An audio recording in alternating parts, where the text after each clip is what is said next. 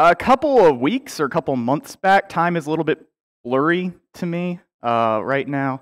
I was able to take a couple weeks off. It was amazing, it was refreshing, and the second of those two weeks, we headed out east. We spent a few days in West Virginia visiting some friends, and then we went to Virginia, where my parents live, where I grew up, and we hung out there with them for a while. I got to see my family. Uh, my parents have about two ish acres of land. It's basically just a big hill with trees all over. It's not useful for much of anything besides plopping houses down on, so that's what they did. But there are two homes there the home I grew up in and the home my grandmother used to live in, where my brother now lives. He has a son who's 12 or 13 years old and is maybe the most hyperactive child I've ever met in my entire life. And I love him so whenever I get home, he gets super excited and he goes, Jason! And then he runs and he gives me a hug and it's adorable. And I'll pick him up because he's still small enough for now for me to do that. The issue is his dad's my height and his mom's about 6'2. So I will not be able to pick him up for long. but for now, I still can. I picked him up and I hugged him and I said, Hey, Jonathan, I'm going to go on a bunch of hikes this week. Do you want to go on one with me? And he said, Yeah, of course. He is not a hiker, he's not an outdoorsy kid. But his uncle was asking him to go, so of course he was going to say yes. So we took him on a quick little easy hike. My parents did the first part with us. They turned around and went back to their car. We drove separate. And then me and Maggie and Jonathan went a little bit further. So, when you're hiking, if you're not a hiking kind of person, you figure it's easy to stay on the trail, right? There's grass here, grass here, trees on both sides. There's this one little, you know, dirt or gravel or whatever path, and as long as you stay on the path, you're good, right? And that's mostly the case. The issue is you have animals like deer that like to make their own trails that look a lot like trails that people build. And if you aren't paying attention, you can end up following a trail that's meant for deer and not for people, and that will not end well for you. Especially when you look down at the map and go, well, I think I'm supposed to be here, and for some reason I'm over there. If you have a cell phone signal, you might be able to deal with it, but if you don't, then huh, you can get in trouble. Now, we do have a solution for this. There are these little things that we paint on trees that I grew up calling blazes. They look something like that. They're color coded, and there'll be one, two, or three on a tree at any time. Do we have any hikers in the room? So if there's one blaze, what does it mean? Maggie's going like she's directing aircraft back there. One blaze means keep going straight. It's just a way of saying, hey, you're still on the trail. If there's two, it means the trail's going to turn. There's still only one trail, but watch out for a turn. If there's three, it means there's a fork. There's two trails or three trails or however many that run into the same place, and you need to make sure that you're following the right one. The blazes are normally color coded. So if you're on a trail with white blazes, you just keep following the white ones and eventually you'll get where the trail goes. If you're on a trail with white blazes and you look up and suddenly they're blue, you messed up and you should turn around. Easy enough, right? Now, like I said, my nephew had never really hiked much before. So as I was taking him through the woods, I said, Hey, Jonathan, there are these little blots of paint on the trees every couple hundred feet. I want you to look out for them. I explained to him what they meant. And I said, Whenever you see one, I want you to yell out to me, There's a blaze, what color it is, how many it is, and what it means. And he said, Okay. So he got out ahead. I let him get now 20 or so feet ahead and he'd be walking this pretty dense wood, so he'd see him before me, and he'd say, I see a blaze. And I say, okay, buddy, how many? Just one. All right, what color is it? It's blue. Okay, what does that mean? And he'd say, that means we keep going straight. And I told him, as long as you follow the blazes, you'll never get lost. Because getting lost in the wilderness would be a terrifying thing. Without a very specific skill set and a lot of experience, it's hard to find food or water or shelter in the wilderness. And that's not even to mention all the bugs and critters that can get after you while you're out there. You don't want to get lost in the woods. I would never want my nephew to go out, try to enjoy nature, get away for a little bit, and end up being lost. It makes certain passages of Scripture, though, bizarre to me. Because there are several times in the Bible when God is leading a person or several people that he loves dearly, and he takes them right out into the woods, off the trail, into the wilderness. And I gotta wonder why? If God was an uncle leading his nephew through the woods and he led him right off the trail and into the wilderness, we'd think, what is wrong with him? Why is it that God leads his people at times into the wilderness? We could pick a lot of different stories to look at today, to try to examine, to figure out why God leads his people into wilderness places. But we'll just look at two of the most famous a time when Jesus was led by the Holy Spirit into the wilderness, and a time when God led the entire nation of Israel into the wilderness. But before we open up those stories, I want to make a fine point of something. while we probably will never be led off into a physical wooded wilderness area or desert area or plains area by the Spirit of God, if that ever happens to you, that's wild and you should write a book about it. There are other, maybe metaphorical wildernesses that we will be led into in our lives. See, wilderness is a place where resources are lacking, where there's not enough of what you need to survive. And likely we will all be in situations like that. Times where we lack for money or where we lack for time. Times where we lack for the patience needed to keep our marriage alive. Times where perhaps we lack whatever that intangible thing is that we need to be good parents, good children, or good friends, or good workers. There will be times in our life where we lack for something that we feel like we need, physically or emotionally or otherwise. This sermon today isn't so much about God leading you off into the desert and providing for you. It's more about all the times that we reach desert times in our lives where we are lacking for something that we need.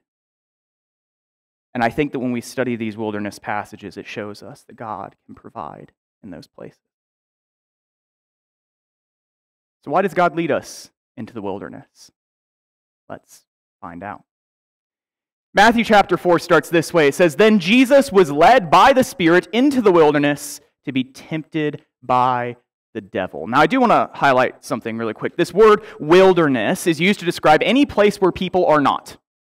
That's really what the word means. Not just the word in English, but the word in Greek as well. It's just any place where people are not. And the reason why people are not there is because it's hard for people to be there. Has anyone ever been to Phoenix? Jared, I know you have. We've talked about it before. Anyone else? It's a really cool city, isn't it? The thing is, it should not exist. Because it is in the middle of a bunch of sand. And you know what grows in sand? Cactuses and lizards, and that's about it. And scorpions. You got to check your shoes for scorpions in the morning because they'll crawl in there. nice, huh? All you guys are like, I'm never going to Phoenix now. Nope, I'm not gonna. It's a really cool city, but it shouldn't exist. There's not enough water. There's nowhere really to grow crops. Although roses grow there really well for some reason, which I think is very bizarre. A wilderness place is a place that lacks for resources, a place where cities cannot grow. Now, thanks to the miracles of modern science, we can grow one of the largest and fastest growing cities in the United States in the middle of a desert, but that's not the way that things were in Jesus' day. When we read that word wilderness, read a place where Jesus cannot easily survive. And he's led there by who? Who? The Spirit.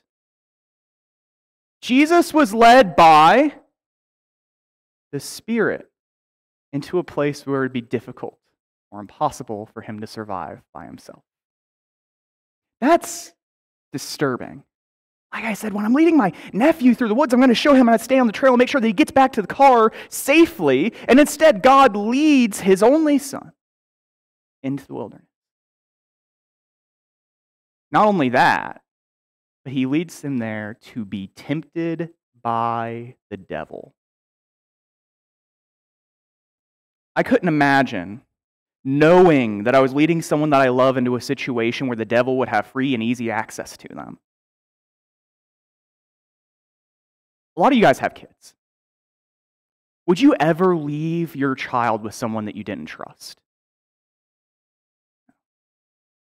If there was a daycare that had horrible, a horrible reputation, right, and your child was young, and there was all sorts of lawsuits against them and all sorts of problems, would you leave your child there? Probably not. In fact, the only people that you'll leave your kids with are people that you trust. So, why would Jesus, the Son of God, be led into the wilderness to spend time with the devil, with evil incarnate? There's something disturbing happening here. Jesus is being led into a dangerous situation, physically and spiritually. And he's being led there by God. It's not dissimilar to what happened to the people of Israel centuries earlier. In Exodus 13 18, we read this Therefore, God led the people by way of the wilderness to the Red Sea. And the sons of Israel went up in battle formation from the land of Egypt as you continue reading Exodus and then you read the reviews of it, people looking back on this time in Deuteronomy and in Numbers, you receive a story something like this. They're led to the Red Sea by way of the wilderness. And what that means is they didn't take the road. There were trade routes from Egypt throughout the Middle East, but they went through the woods. They ignored the trailblazes and they went out to the place where no one was able to survive. Now, these desert roads often went from oasis to oasis, so you would have water. They're going somewhere where there would be no resources. And there are thousands, millions of people traveling in this massive caravan. There would be no food and no water for them. And God led them nonetheless into that wilderness place. They go to the Red Sea and they get trapped there between Pharaoh's army and this massive body of water. And God splits the sea and they walk through on dry land and then he closes the sea so that Pharaoh cannot follow. Pharaoh tries to, anyways, and many of his men drown.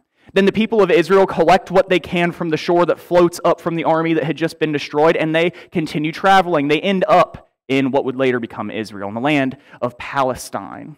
And they reject the opportunity to go in and take the land as God had given it to them, and they are told, You will wander in the wilderness for 40 years, and eventually your descendants will come back, but none of you will. The exception is made for two men who were faithful, Caleb and Joshua. They're allowed to go into the land. And God keeps them young and strong despite the fact that they become very, very old men before they're allowed to return.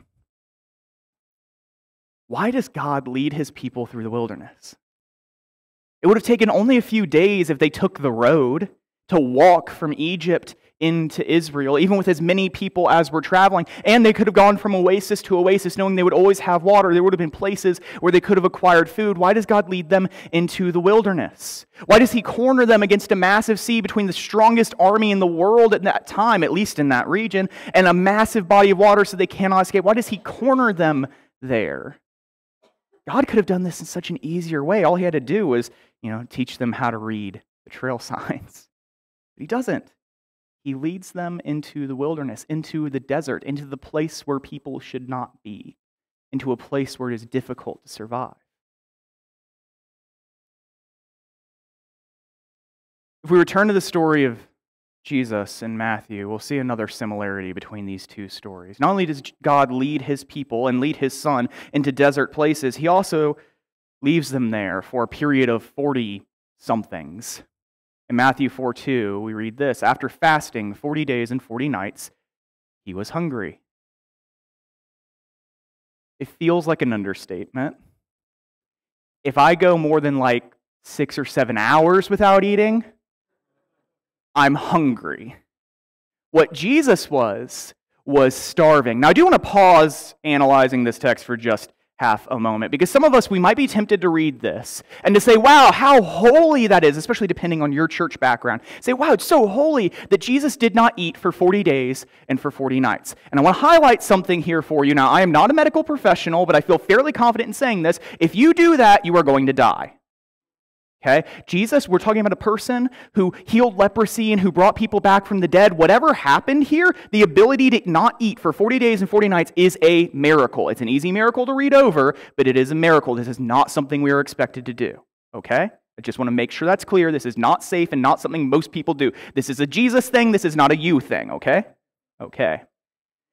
But think about it. He spent 40 days and 40 nights in the wilderness, and I'm sure he could have miraculously done away with his hunger, but Matthew is very explicit. He did not. He was hungry after having not eaten for that long. Not only that, but I imagine he was lonely. 40 days and 40 nights without being around people. I remember during the first stage of lockdowns back in 2020, I got to go and work at the coffee shop at our school, and there was like social distancing and stuff, but I still got to see a few people. And my poor wife got left at our apartment day after day, and she never saw anyone but me. And I think that I'm awesome, but after a while, she got really sick of me and she wanted to see other people.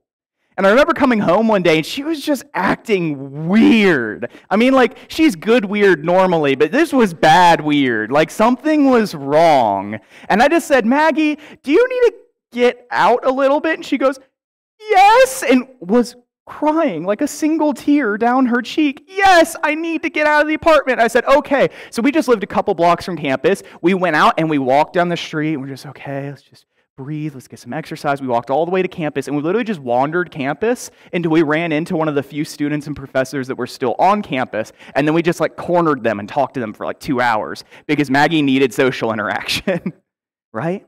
And that's after like what? It was maybe two weeks of lockdown. Can you imagine 40 days?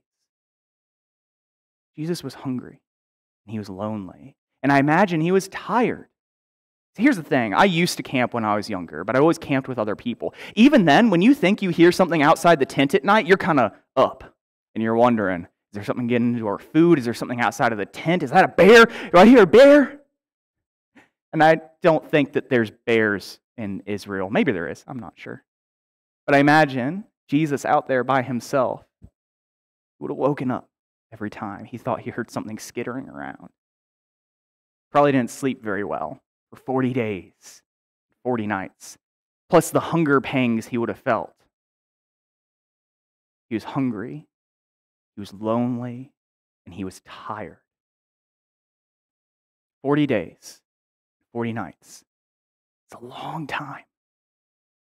But any Jewish reader who would have had the pleasure of sitting down and reading the Gospel of Matthew years and years after the events that it described, they would have seen this there was someone in the desert for 40 whatevers, and immediately thought, that sounds familiar.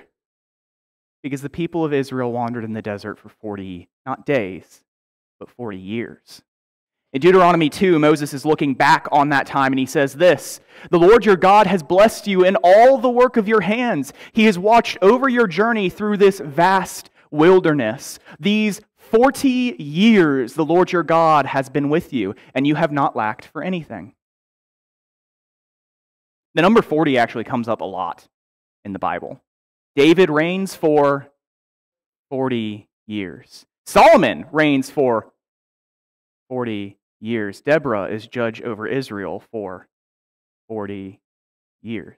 Moses' life is divided into three chunks of 40 years 40 years in Egypt, 40 years in Midian, and 40 years leading the people of Israel. Why does the Bible like the number 40 so much? Because 40 is a symbol. And it doesn't mean that those people didn't actually reign for 40 years. God is God. And if He wants to make someone reign for 40 years so that when we're reading their story later on, then we can see the symbolic significance of it, both it can be literal history and it can be symbol. It can be both. But whenever the number 40 shows up in Scripture, we should immediately think a long time, but the right amount of time. In fact, bad kings never reigned for 40 years in Scripture. Only the good kings do, the good judges, the ones who honor God in their actions.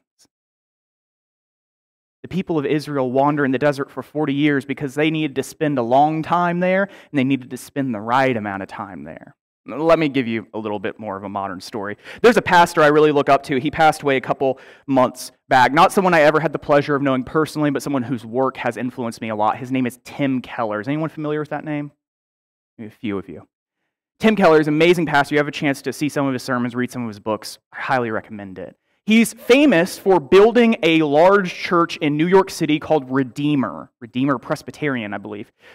And uh, well, he's famous for that work. Something that even people who really appreciate his work normally don't realize is that that was the second church that he worked at. In his entire career, he only worked at two.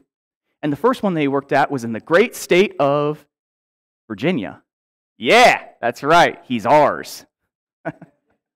He got out of seminary and he took a position at a rural church in Virginia, in like central Virginia, not where I grew up. Central Virginia is pretty much known for three things. It's known for Richmond, which is like the hipster capital of Virginia that is really famous now amongst people because of a song on YouTube.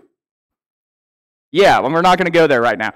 The other things that it's famous for is apples and tobacco. I'm not kidding. They're farming communities. They don't farm corn and soybeans like we do. They farm apples and they farm tobacco. That's historically what they're known for. And he took a position at a small church in one of these old farming communities. Here's the thing people don't smoke as much tobacco as they used to.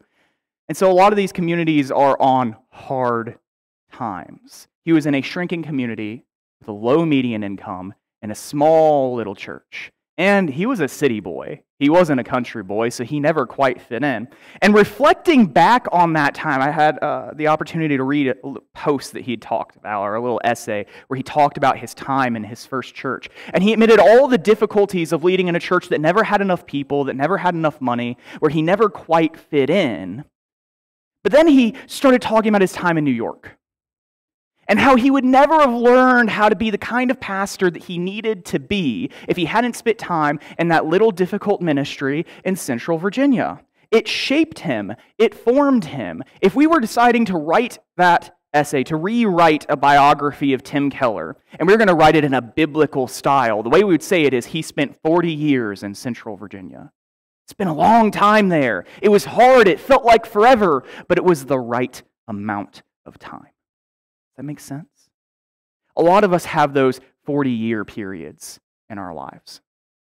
It's a long time, it feels like it, but it's the right amount of time. I've told this story before. When I was coming out of college, I had a lot of different opportunities that I was looking at. And I remember praying to God over and over again Lord, make it obvious what opportunity I should take. God, close every door but the one you want me to go through because I am stubborn and I am stupid and I will make the wrong decision. I'm not kidding. I prayed that exact prayer. I'm stubborn and I'm stupid and I will make the wrong decision. So close every other door. And then COVID happened. And I'm not saying that I prayed a plague into existence. I'm just saying the timing is suspicious and y'all should be careful, okay? All the churches I was talking to stopped answering me, wouldn't answer my texts, wouldn't answer my calls, wouldn't answer my emails. I had one church that called me back and they said, Hey, you are our number one candidate. It was for an associate position. The lead pastor called me and said, Hey, you are our top candidate, but we don't know if we're going to have the money. We don't think we're going to hire this position at all anymore. We recommend that you look elsewhere. Good luck. I appreciated that they actually called me. No one else even said anything to me. So I think it was two, maybe three weeks. I kept putting out resumes to anyone that I could. I told friends and professors to put my resume out anywhere that they could. And then I got a call from a California number, which I realized later was Russ's work phone. Uh, but yeah, when I first talked to him, I thought that you guys lived in California. I was like, this is going to be a lot of fun. I caught up eventually. But I remember this call. I got this call and I was nervous. First of all, because I figured it was probably a job call because, you know, I didn't recognize the number. And I don't know anyone in California or before then in Illinois for that matter. But the other reason is because Russ has horrifically bad timing. And I would have loved to be sitting in my office reading the Bible, you know. Instead, I was on the porcelain throne. And I had to answer the call and pretend, because I, I should have just not answered and called him back, but I was nervous and I was like, I have to answer. So I had to answer the call and then pretend I wasn't in the bathroom while I was having a conversation with this man trying to convince him to hire me. It was not a good conversation. I did not feel good about myself afterwards, but apparently it was good enough because I'm here today. Russ didn't hear that story until about a year ago because I was scared to tell him. But those two weeks, man, I tell you, it felt like 40 years. Because I'm the kind of person that always wants my next step outlined. I always want to know where I'm going next. Hey, I'm graduating school. Where's my first job going to be? Hey, my lease is coming up. Where am I living next year? And some of you guys, you're like, no, I fly by the seat of my pants. But a lot of you guys, I think, are probably like me. You always want to know what's next. And for two or three or however many weeks, I didn't know it was next. It felt like forever, but it taught me something. It taught me to trust God at least a little better than I did before. If I was writing a story about that time, I could rightfully say that was 40 years of waiting. It was a long time, but it was the right amount of time to get the lesson through my thick skull that God wanted me to learn. The stories of the people of Israel and the story of Jesus in the wilderness doesn't end there. In fact, the one of uh, Israel in the wilderness is books and books that we won't go through today, but I want to highlight one more detail, one more similarity between these two stories. The story of Jesus in Matthew, verses 3 and 4, says this The tempter, that's just another title for Satan, the tempter came to him and said, If you are the Son of God, tell these stones to become bread. And Jesus answered, It is written, Man shall not live on bread alone, but by every word that comes from the mouth of God.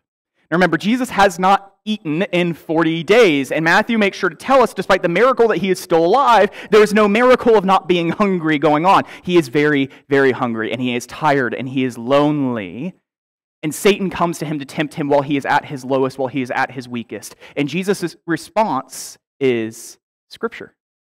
He quotes the Torah, the, the books of the law. It is written, Man shall not live by bread alone, but by every word that comes from the mouth God. Now, there's nothing wrong with Jesus miraculously creating food. In fact, he does it at least twice that we know about the feeding of the 5,000 and the feeding of the 4,000. But in this case, Jesus apparently knew whether the Holy Spirit told him, whether he just had that sense, whether the Father came down out of heaven and told him, we don't know. But he knew that God wanted him to fast. And so he did for 40 days and 40 nights, and it was not yet time for him to break that fast. He would have been disobeying the Father if he had. And so when, when Satan comes to him and says, You're God, you're the Son of God, you could turn these stones into bread, you could eat your fill, you could provide for yourself rather than trusting that God will provide for you, Jesus simply says, I'm not going to do that, man. He quotes scripture at him. He says, I'm not going to disobey. Jesus is tempted while he is at his lowest. While he is in a place where there are not the resources for him to survive, after he has not eaten for 40 days and for 40 nights, he is tempted while he is at his weakest, and he simply says, No. And if you know the story of the people in Exodus, then you realize that they did about the exact opposite, time and time and time again. We'll look at just one example. In Exodus 16, the people are tempted, and they don't even have the excuse that Satan himself took the time to come to them. In fact, they just tempt themselves. In verse 2 and 3, it says this In the desert, the whole community grumbled against Moses and Aaron. These are the representatives of God, the prophet and the priest. Against Moses and Aaron, Israelites said to them, If only we had died by the Lord's hand in Egypt. There we sat around pots of meat and we ate all the food that we wanted, but you have brought us into this desert to starve the entire assembly to death. It reminds me a little bit when I was like 12. I was like going through growth spurts. I don't look like I ever went through a growth spurt, but I promise I did. My mom's like this tall, so I did good. But I remember, like, if dinner was a little late, I got whiny, man. I did. I was that kid. I was like, I'm starving. I'm dying. That's what they're doing. They're saying, Moses, we're starving. But then they get really dramatic. It would be better if we had died than for you to take us out here. Just comparing these two events. Jesus looks Satan in the face and says, I'm not going to do what you're telling me to do. Despite how hungry, how tired, how lonely, how worn out he is. Despite the fact that he had the power to change his circumstances instantly, he said no because that's not what the Father wanted from him. But the people of Israel sitting in the desert, Satan's not there tempting them. They just start talking. They're hanging out around the campfire one night and they go, You know, Eddie, I don't like this Moses guy. I think Aaron's an idiot. They shouldn't be leading us. It would have been better if we had stayed in Egypt. Here's the thing what were they in Egypt? Slaves. They're saying it would have been better to remain slaves and die in Egypt than to trust God to lead us into this place. And so often you and I are the same way. Where God leads us into desert places where we don't have the money, or the time or the energy or the patience or the whatever that we need. We feel worn thin in some way. And we say, God, if you were really just, maybe we don't say it quite like that, but man, we think it. if you were really just, if you really cared, if you really loved me. Or we say, What did I do to deserve this? We act exactly like the people of Israel. Think there's a challenge here. In fact, one that's highlighted by Moses in a verse we already looked at in Deuteronomy 2. The Lord your God has blessed has blessed you in all the work of your hands. He has watched over your journey through this vast wilderness, these 40 years. The Lord your God has been with you, and you have not lacked for anything. It's not that things were never lean. It's not that they never looked at their baskets of manna and thought, I'm not sure if we have enough to get to tomorrow. Or to put that in our context, it's not that they never listed out all the bills that are coming out on the first of the month, looked at their checking account, and went, These numbers do not add up. But somehow they made it through. Somehow God always provide. And the fact of the matter is, each and every one of us here is, well, here. We're still alive. We're still breathing. We're still clothed. We're still here. Which means God has provided for you. Through all the times where you thought you weren't going to be able to make that payment, God provided for you. And maybe it wasn't always the way you wanted him to. Maybe it was a lot harder than you wish it had been, but he provided. Every job or school that you applied to that turned you down, or they said yes, but then you realized there was no way that you could actually make it work and you had to turn them down even though you really wanted to go there. God still provided because you're still here. Every time you were convinced that your spouse or your child was going to give you a heart attack. They might have, but you made it through because God still provided for you and for them. God will lead you into desert places. But as Deuteronomy 2 7 reminds the people of Israel, I want to remind you today every time that God has taken you somewhere where you felt like you were not going to make it through, He found a way to provide. I know that because we are still here today. And if He has been faithful in the past, He will be faithful in the future. So, why is it that God leads us into wildernesses, into desert places, into times in our lives where we don't have the money, the patience, the whatever we need to keep going? Because in the wilderness, we learn to trust God. We learn that He'll provide for us even when it seems like there's no way. We learn that we shouldn't rely on our own strength, but we should rely on His. As Jesus says, man does not live by bread alone, but by every word from the mouth of God. So, what are you going to do the next time that money's tight? Will you still trust God? Will you still choose to make your tithes and your offerings, to be generous to your neighbor, to do something to benefit those who are even less fortunate than you? What will you do the next time that your time is limited? It seems that your calendar is too full and there's not enough of you to go around. Will you still follow God in a desert place? Trust Him by giving your time to others who need you. Whether that's simply spending time with your spouse when they desperately need your attention and love, or helping a friend move because they need another strong back and they can't do it by themselves. When you are tired and worn thin, will you refuse to make excuses for yourself? Well, I'm just grumpy because. Will you choose to follow God in an emotional desert place by being gracious and loving despite the fact that you feel like you have no patience left? Will you still prioritize other people and treat them right in the name of God? That's the challenge that we take from these stories of God's people in the desert place. When there's not enough of whatever, God can provide. And it's your job to keep honoring Him, to keep trusting Him, to know that He will pull you out of that place when the time is right. In the wilderness, we learn to trust God. So, whatever wildernesses you may face in your life, trust God through them. He will provide. It may not be pleasant, it may not be easy, but He will provide. Lord, help us to trust you.